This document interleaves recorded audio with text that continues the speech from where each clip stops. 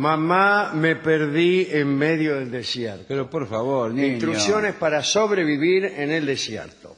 Nos escriben muchas personas que nos dicen, me voy por X razones al desierto. Sí. Tanto sea turismo aventura, como... No me impo- no importa. No, es... Bueno, ¿qué pasa? Usted, eh, por ejemplo, va en una caravana.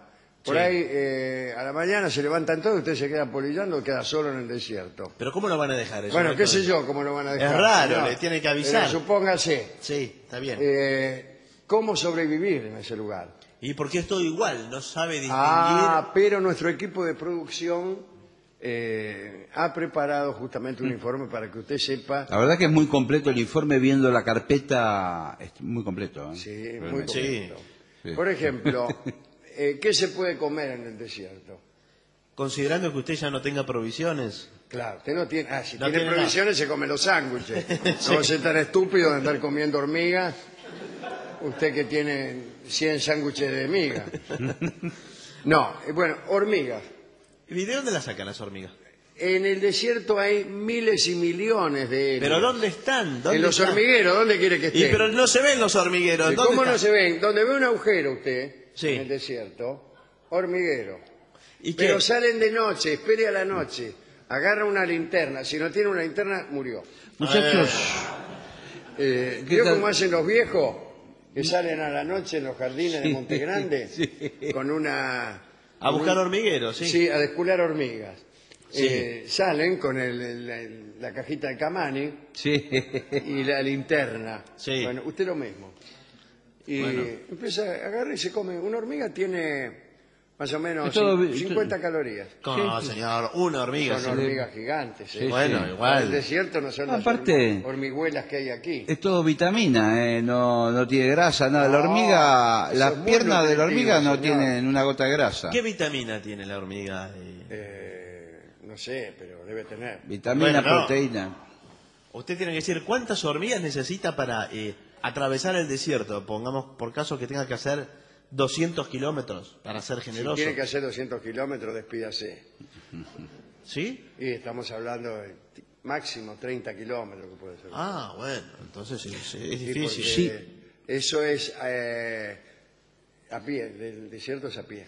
Yo vi muchas películas del desierto y la mejor eh, forma de desorientarse, Sí. no sé cuál es, pero siempre se desorientan los tipos. Se desorientan, Creo que sí. están siguiendo por ahí una dirección Sí. y por ahí ven unas huellas, Sí. hasta que se dan cuenta que son ellos Son mismos. del- Sí. de- ah, Está qué caminando. Han en estado círculo. caminando en círculo.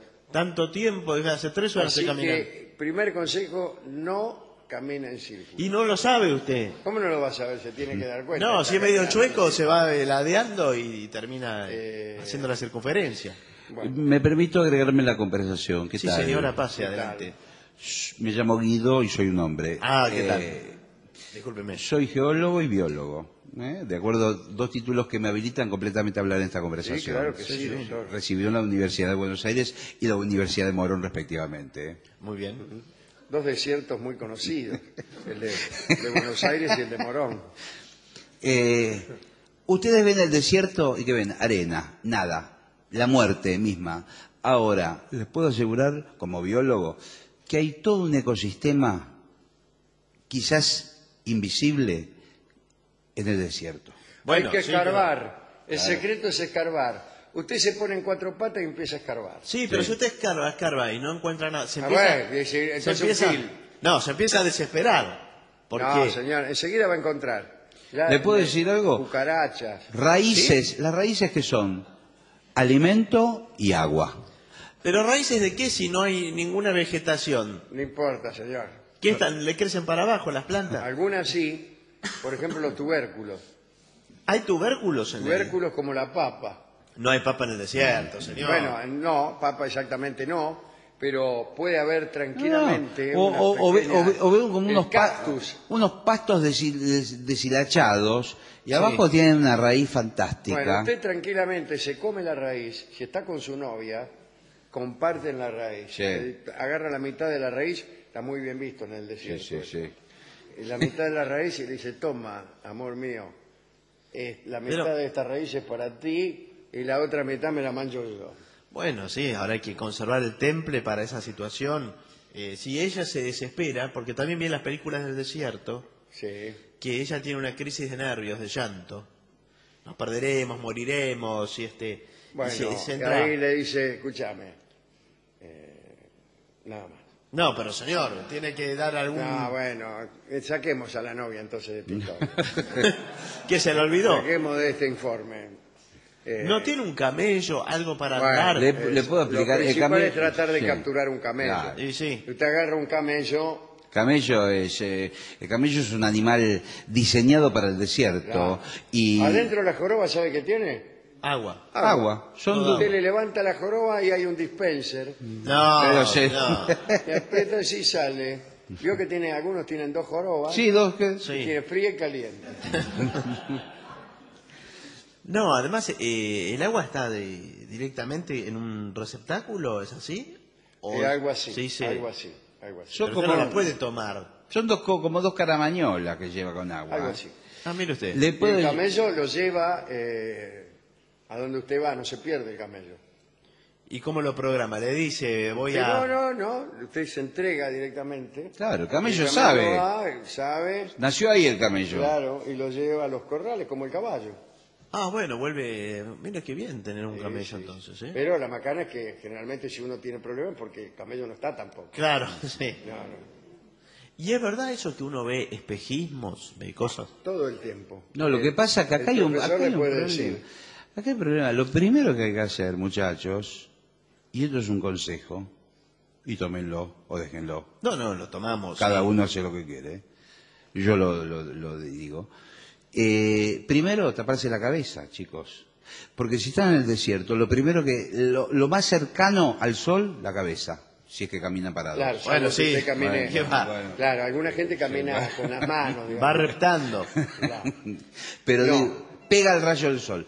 Entonces la camisa la sacamos, hacemos un pequeño turbante y protegemos la cabeza porque Pero la- deja la piel. Claro, también, eh, ¿sabe qué puede hacer? También sacarse las medias. Sí. No tiene sombrero Sí, ni sí, nada, sí. Y se pone la media en el marote.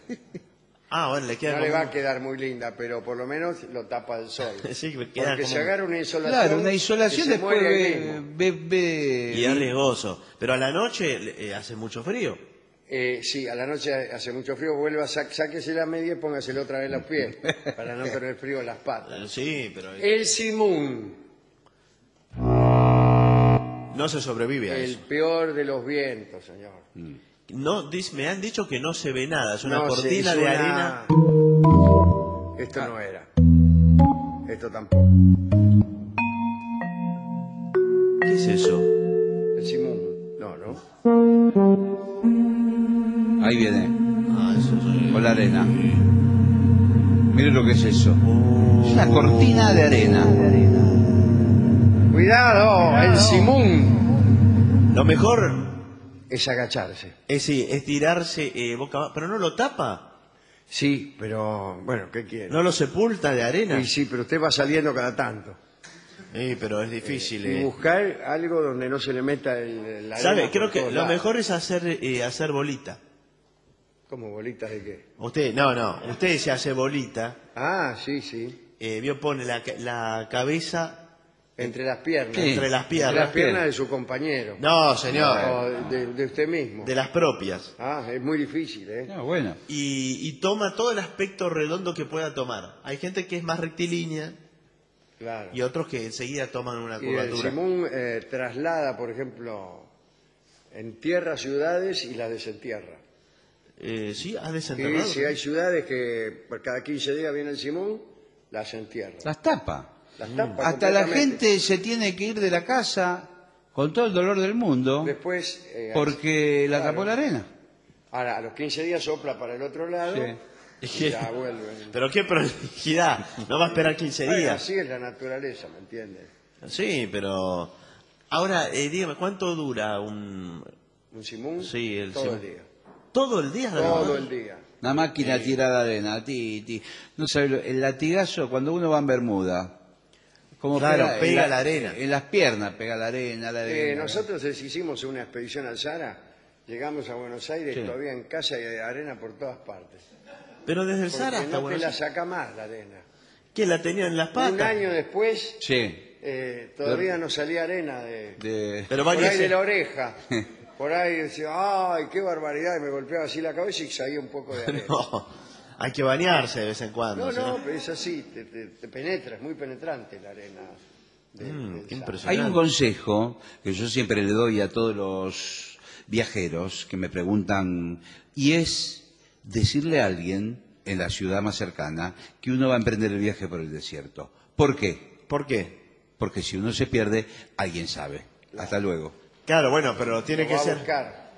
Pero si es alguien, si usted va de una ciudad A a una B, avisó Sí. la A, pero no en la B, Bueno.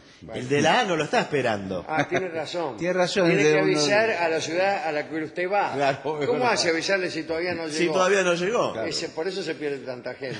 Y debe ser. Con respecto al espejismo, Sí. eh, eh, ha engendrado en aquellas regiones una cultura de la desconfianza. La gente se comporta en todas partes como si estuviera en un espejismo. Sí. Ah, viven ilusoriamente. Eh, claro, porque de cada cinco ciudades, eh, cuatro son alucinatorias. No, no puede ser. si Y entonces la gente va con cierto descreimiento. Ah, aquí estamos. eh, eh, eh, por fin hemos llegado a Argel. Pero Argel No, existe. ¿qué va a ser Argel? Debe ser un espejismo. Y entonces la gente escupe. Pero figura en los mapas. Tiene un- Figuran los mapas, pero hay mapas que también son alucinados. ¿Cómo puede ser eso? Lo que pasa es que la alucinación es una construcción mental. Eh, entonces uno empieza a soñar, eh, dice, uy, una pi- pileta, y me voy a zambullir, y se tiran en el medio de la arena y empiezan a nadar en la arena. Eh, y ahí le agarra la locura. Claro. Dice, Ah. hay un oasis. Un oasis. Un oasis. Sí. Este, y Sí, como sí, dice el señor, sí. Empieza a tomar agua. A tomar agua y es Y por arena. ahí cuando a los dos litros se da cuenta de que es arena. Pero son dos kilos. Se, se tragó dos kilos de arena. Una bolsa de arena. Una Eh, sed, le agarra aparte Ah. una pesadez para caminar. Imagínese. Es, y sabe qué, tristeza. Sí. La sensación, hay muchos psicólogos allá. ¿Y pero qué, qué hacen los Eh, psicólogos? ¿Y cómo? Le sacan al tipo eh, la, La poca- neurosis que causa sí. el, el estar siempre entrando a casas que son soñadas, que son de mentira. Bueno, sí, sí, me Yo lo imagino. quisiera ver a usted. No, no. Y salir de un espejismo para entrar a otro. No, Esa es la historia de mi vida. No, es algo espantoso, sí. Ese, es un padecimiento Y bueno, fuerte. allí fue Rolón, estuvo dos años en el Sahara, Dos años, pero eh, haciendo análisis. ahí analizando beduinos. Ah, mire usted. Que- analizaba mucho a los tuares. Sí, ¿Y qué, con, qué resultados? Eh, para él, fantástico, para los tuares, no tanto. No se curaron, no dejaron de ver. ¿Hay espejismos compartidos, doctor, que uno ve y el otro ve lo mismo que uno? Eh, no, lamentablemente.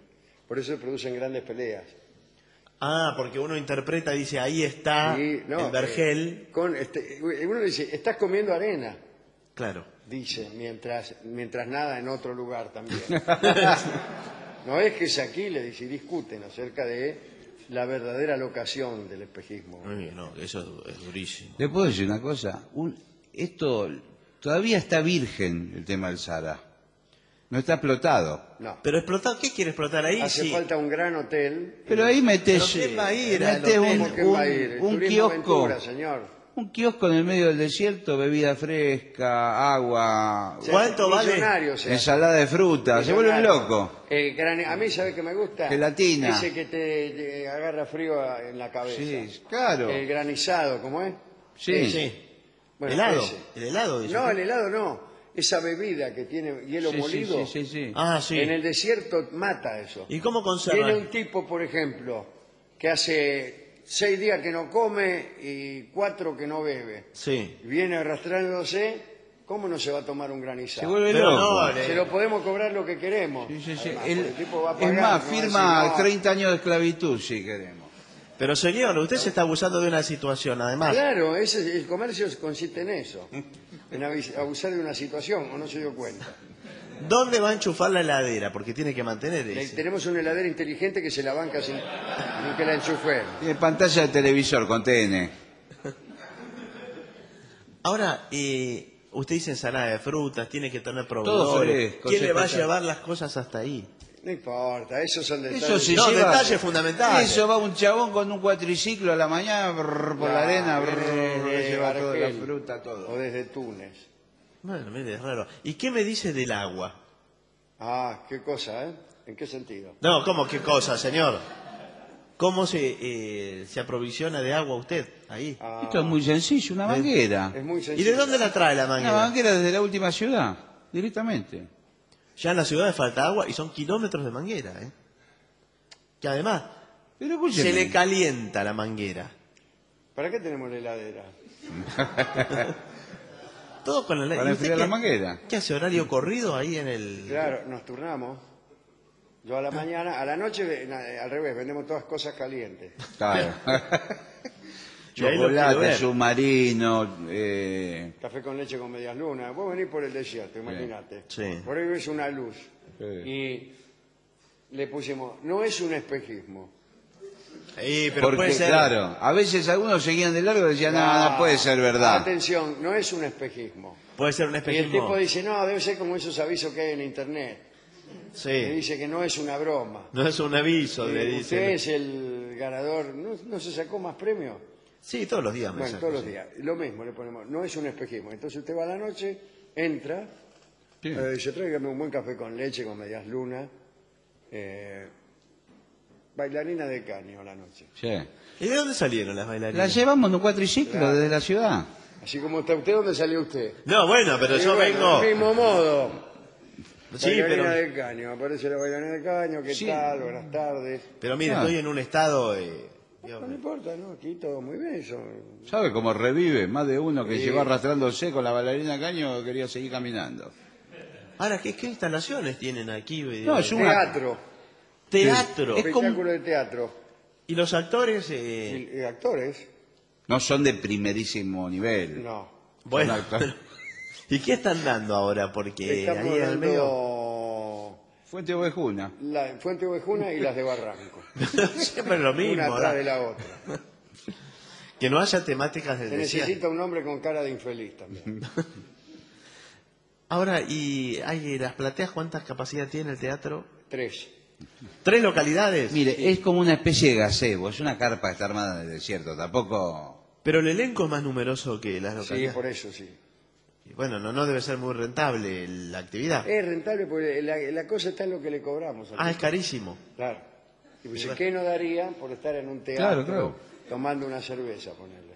Bueno, sí, la verdad que dan ganas. nosotros, ¿qué es lo que no darías? Y nos dan todo.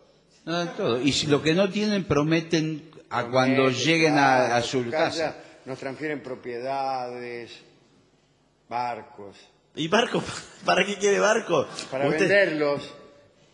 ¿Y este, usted cómo disfruta el dinero? Porque está todo no el día ahí. disfrutamos nada. Es como, la riqueza no es para disfrutarla. ¿Qué? está todo el día ahí encerrado. Tenemos, eh, somos ávaros Claro, avaros. y lo único que nos importa es atesorar riqueza. Buenas tardes. Ah, ¿qué tal? Buenas ¿Tiene una tardes. cerveza?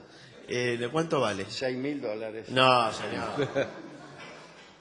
Mire, por Bueno, suerte... listo, anda a comprarte la voz a Beirut. Claro. No, le pido por favor que... Por Tres me- mil favor, salga, kilómetros. Porque el aire acondicionado es solo para los clientes. El baño también. No, no, pero señor... No puede ir al baño. Por el baño ni me preocupo, imagínese. Claro, Acá en el el- desierto es lo que tiene de bueno. ¿Para qué pone un baño? Pero no, mire cómo estoy de la voz, eh, estoy deshidratado. Sí, Necesito la verdad me- que usted parece... Bueno, que me peligros del desierto, doctor. Tenemos al, al doctor Patricio Barton, especialista en alimañas, insectos. ¿Cuál es el peor insecto? Para mí, el, el escorpión. Hay muchísimos scorpions Sí, eh, escorpiones, dice usted. sí, en el desierto. Sí, no en todos Se los desiertos. eh, la pregunta es esta. Si uno encuentra eh, un escorpión y puede sojuzgarlo, Sí. Es decir, lo domina, le impone su voluntad, ¿De qué modo? pisándolo, por ejemplo. Ah, bueno, lo mata. Bueno, Lo- lo- sí. eh, ¿se lo puede comer o por ahí te lo comes y te envenenás?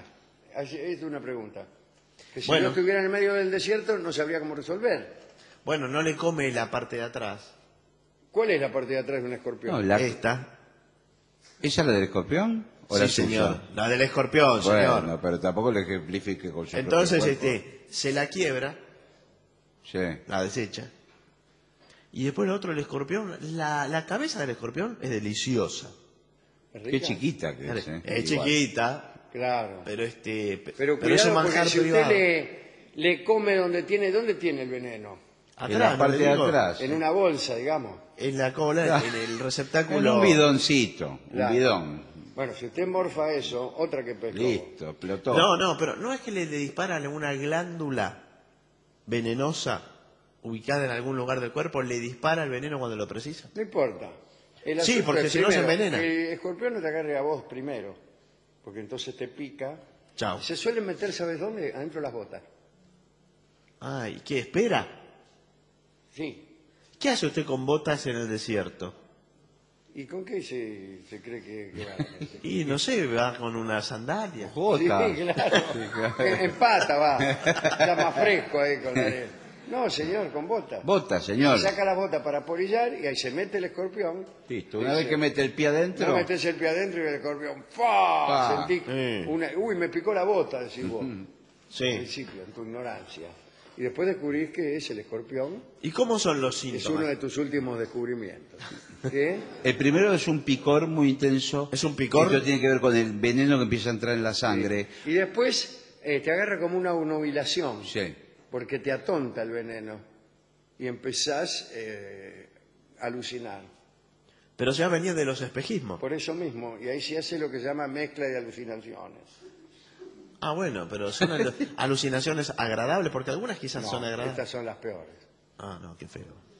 No, no, empieza a decir cosas inconexas. Sí, eh, incluso es enemista con el rey. Mire, Sí, sí. nunca vaya con una expedición con cinco tipos Sí. porque se empiezan a pelear. Sí, en el desierto sí. Eh, siempre se pelean. Hay uno que Bueno, es malo. Hay uno es malo, traidor, otro que se toma el agua de los demás. Claro, no, porque usted tiene que dividir los roles.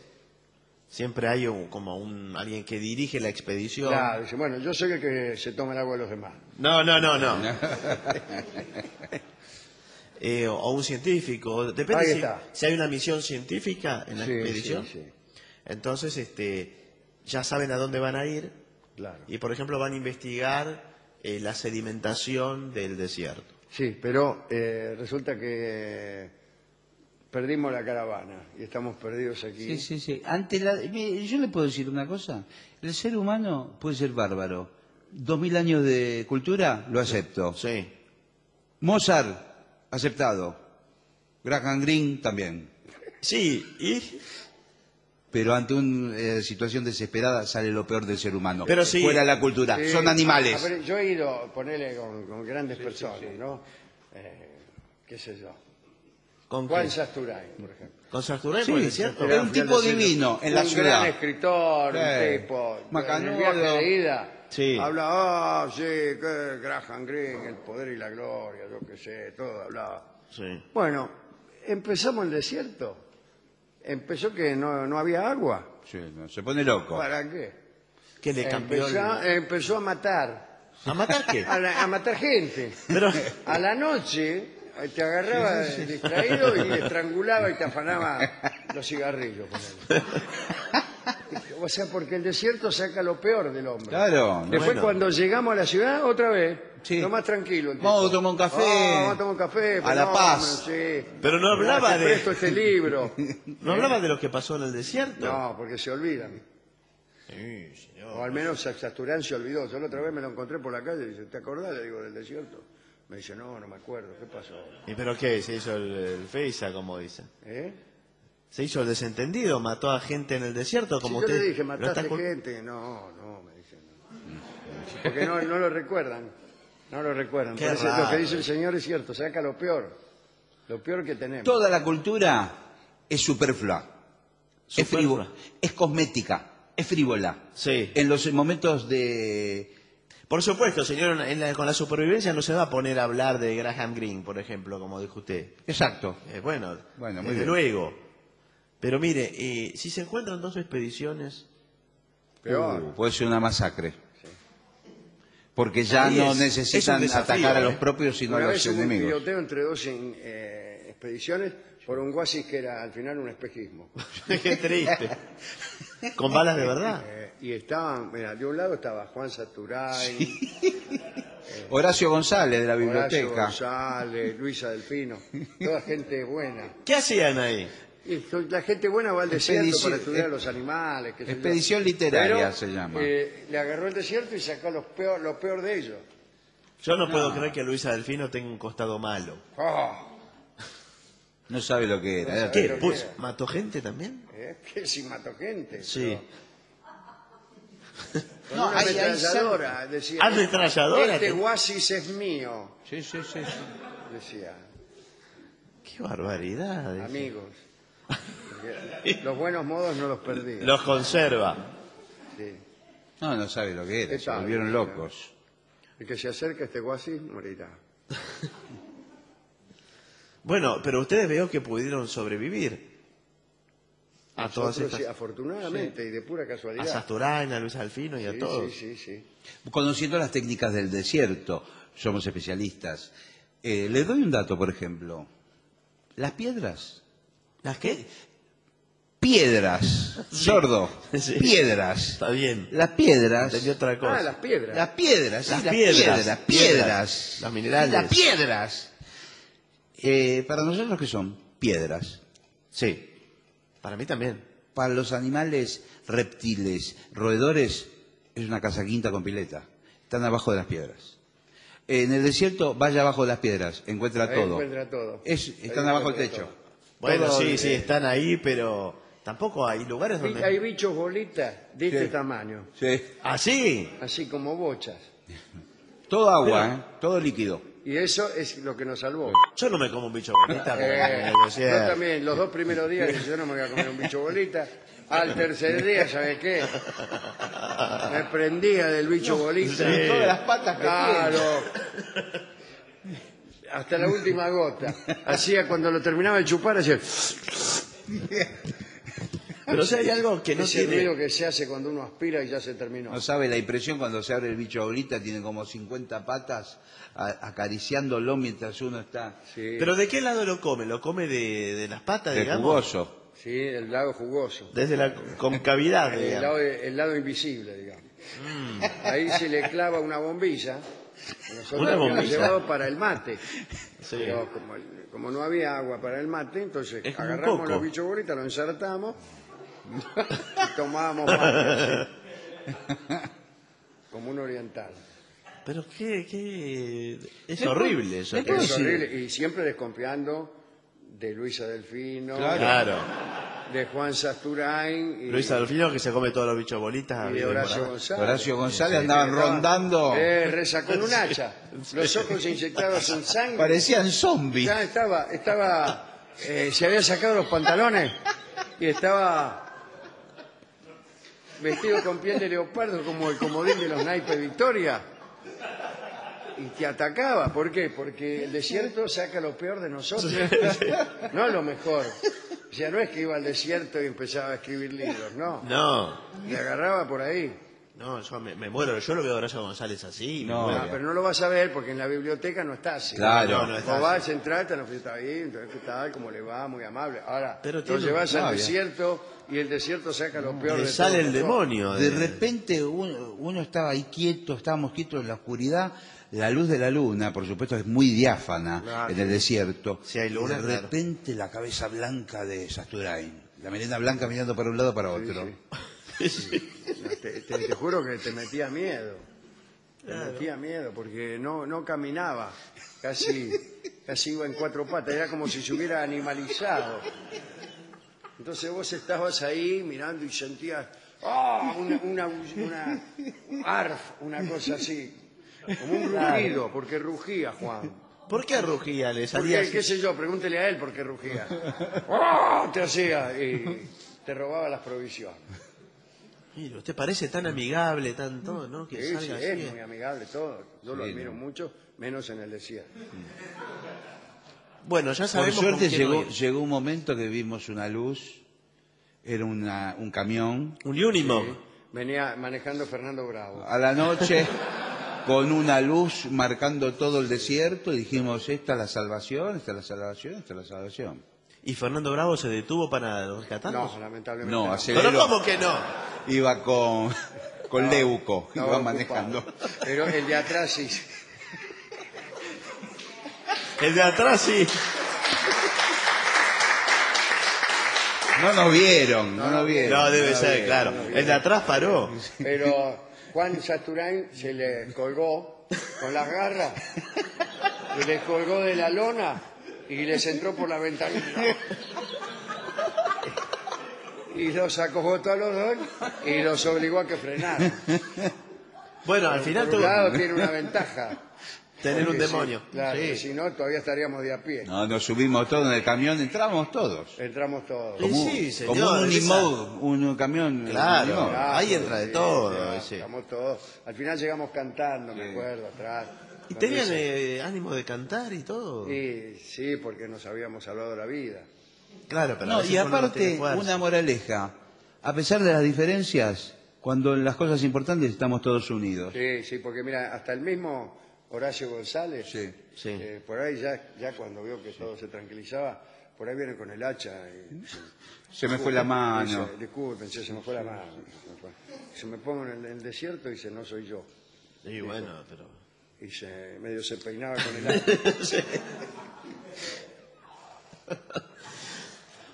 Bueno, eh, por lo menos ya sabemos con quiénes no ir al desierto. No, lo no, cual- con cual- a cualquiera sale Nadie. lo peor. Todos se transforman. En cu- cuanto mejores personas son acá, Ah, es más peores contraste. son, claro, el más siniestros son en el El desierto. contraste es mayor. Ah, qué cosa, qué barbaridad.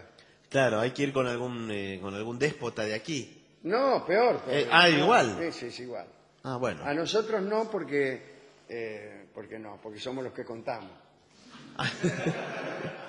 Porque en el desierto no es igual que con el buceo. Veo que le- eh, los buceadores se van acuatizando, por llamarle de algún No, modo. señor, no es igual, no tiene nada que Y usted no se va aclimatando a la arena, No, no, al lugar. no, no. ¿Y entonces cuál es eh, la técnica que usa? Porque ¿qué es un iluminado? ¿Que a usted no le pasa nada? No, no nos pasó nada. que al- No, lo, que- lo- lo importante es no perder la calma. Claro. Y segundo, le doy un dato técnico.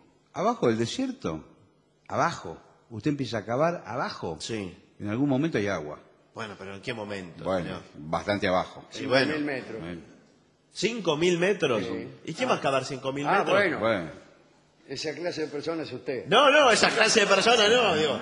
Imagínese antes que cavar cinco mil metros empiezo a caminar. Y claro, y más sin herramientas, como le dije yo a él, porque él se puso por ahí a rajunear.